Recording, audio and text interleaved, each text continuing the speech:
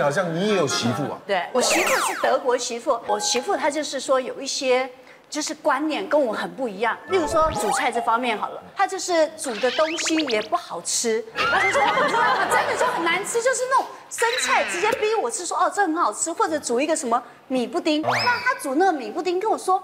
哦，Polina，她也不叫我妈，我觉得无所谓。他们是说这米米布丁很好吃，我吃起来就像我们那种牛奶粥，你知道吗？就很难吃。她有时候甚至于就吃一个饭，上面加一团冰淇淋，说哦这好好吃，妈妈请你吃。我吃这什么鬼东西啊？这叫一餐吗？她说哦真的多好吃多好吃，然后我就觉得傻眼。然后有时候我煮东西，我明明煮的很好吃，然后我就说哎媳妇来吃一下什么什么，他就说。嗯，这不好吃，然后什么什么，然后我就有时候说，拜托吃一下，这个很特别。讲话超过两遍，你吃了，你吃了，他就开始不高兴、不耐烦了。他就说你不尊重我。今天没来是有道理的。认真你说会来吃去争执这件事情。我请一起出现的这位媳妇，觉得自己在婆婆心目中有几分的分量？十分为满分。怎么低也有十分吧？十分是满分的意思。我觉得我婆婆最初对我抱的期望值很低，啊，而且我我是超额完成了任务，对，所以我觉得我在我婆婆心目中应该是还不错。哦，原本没有期望能够这么好。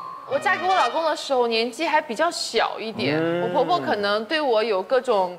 各样的那种不放心吧，因为毕竟那时候还在还是大学生，还在上学，被这个沈世鹏骗到手，对不对？还在学生的时候，年少无知。哎呀，然后我老公手段又不错，那，平才看起来忠厚老实，他手段好到什么程度？扮猪吃老虎，是，在耶，真的有十分吗？你刚刚那个心不安乱，不错，真的不错。怎么说？可不可以实际的告诉我们是不错在哪些部分？懂事啊，又孝顺。我自己人一个人居居住嘛啊，他会啊。鱼一次买的好多，妈妈你吃你吃，我说你不要买那么多了，我一个人吃没有吃不完，哎，对我拿去给人家分享。嗯，他说妈妈你吃啊，你要吃好身体，他他们才放心了。所以有些事情我感觉真的，我是否蛮幸运的，贴心，很会送礼。去婆婆家怎么能空着手呢？是不是？